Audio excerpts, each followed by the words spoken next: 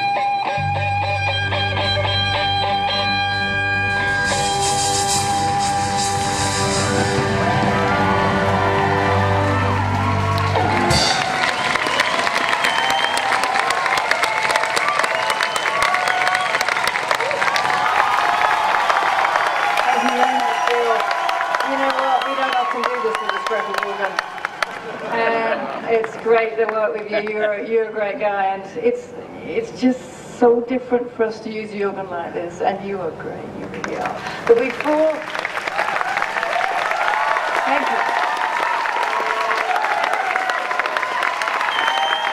Before you go, we got to just say this is the last concert tonight till next year. But there's always a Sunday concert at two.